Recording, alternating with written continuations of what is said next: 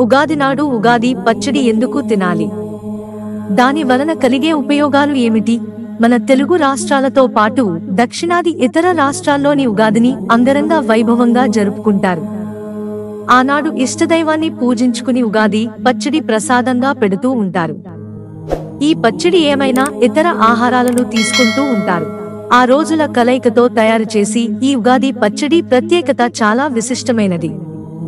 ఈ పచ్చడిలో ఆరు రుచులు జీవితంలోనూ కష్టసుఖాలను చూసిస్తాయి. పులుపు ఉప్పు వగరు చేదు కారం తీపు కలయికతో ఉగాది పచ్చడి తయారవుతుంది. పచ్చిమిర్చి బెల్లం చింతపండు ఉప్పు మామిడికాయ వేపపూత ఆనవాయితీగా పచ్చడిలో వాడుతూ ఉంటారు.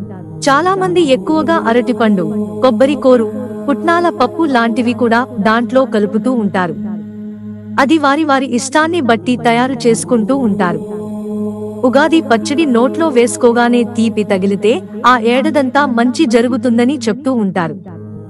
అది చేదు తగిలితే కష్టాలు వచ్చి అవకాశం ఉందని చెప్పుకుంటారు. పులుపు తగిలితే కష్టకాల కలయిక ఉంటుందని నమ్ముతుంటారు. అలాగే ఈ ఉగాది పచ్చడి తయారులో ఒక అత్యధిక భావన కలిగి ఉంటుంది. ఉగాది పచ్చడి తీసుకునేటప్పుడు ఏ రుచి మీకు తెలుస్తుందో అంచనా వేయడం చాలా కష్టం. అలాగే జీవితంలో ఎటువంటి పరిస్థితులు ఎదురైనా కష్టాలు వచ్చినా సుఖాలు వచ్చిన జీవితాన్ని ముందుకు నడిపించాలని భావన ఉగాది పచ్చడిలో దాగి ఉంటుంది. ఉగాది పచ్చడి తయారీ విధానం.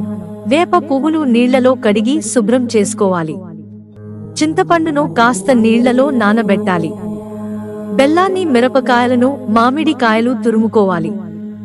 చింతపండు పిప్పిని తీసి పడేసి ఆ రసాన్ని ఒక గిన్నెలో పోసుకోవాలి. ఆ చింతపండు పులుసు మామిడి తురుము బెల్లం తురుము పచ్చిమిరపకాయ తురుము వేప పువ్వు ఉప్పు వేసి బాగా కలుపుకోవాలి. వేప పూలు ఎక్కువగా వేయకూడదు చేదు ఎక్కువవుతుంది. మీరు కావాలనుకుంటే అరటిపండు ముక్కలు జామ ముక్కలు కొబ్బరి ముక్కలు కూడా కలుపుకోవచ్చు. ఆరోగ్యానికి చాలా మంచిది. పచ్చడిలో వాడే ప్రతి పదార్థము మనలన్నీ మన ఆరోగ్యాన్ని రక్షిస్తుంది. ఈ కాలంలో వచ్చే వాతావరణ మార్పులు తట్టుకునే విధంగా ఈ పచ్చడి మనకు శక్తిని అందిన చేస్తుంది.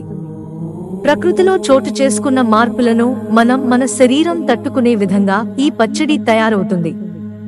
వేప పువ్వు మామిడికాయలు బెల్లం చింతపండు లాంటివి తినడం వలన ఎన్నో సమస్యలు దరిచేరవు.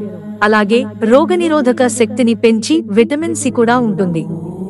వేప పువ్వులో ఉండే చేదు గుణం వలన శరీరంలో ప్రవేశించి వైరస్లను అధిక కాలం ఉండలేవు. దీనిలో వాడే బెల్లం వలన మన ఆరోగ్యానికి ఎంతో మేలు జరుగుతుంది. పిత్తవాత సమస్యలను తగ్గిపోతాయి. శరీరంలో కొత్త కణాలు ఏర్పడడానికి ఉపయోగపడుతుంది. అలాగే పచ్చడిలో పంచదారను వాడకూడదు. రక్తంలో షుగర్ లెవెల్స్ పెంచే గుణం బెల్లానికి తక్కువ. పులుపు కోసం చింతపండును వాడతాము. ఈ చింతపండు మన శరీరంలోని జీర్ణ సమస్యలను తగ్గిస్తుంది. ఆహారం త్వరగా జీర్ణమయ్యేలా చేస్తుంది. మలబద్ధకం సమస్య నుంచి రక్షిస్తుంది. మామిడికాయ వగరు కోసం పచ్చడిలో కలుపుతాం. ఇది శరీరాన్ని వెచ్చగా ఉంచుతుంది.